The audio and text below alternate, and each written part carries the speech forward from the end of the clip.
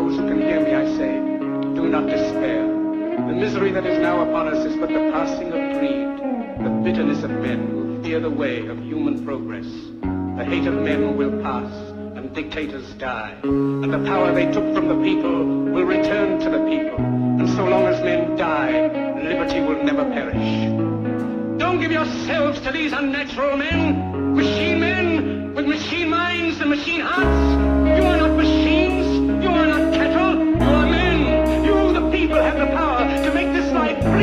to make this life a wonderful adventure.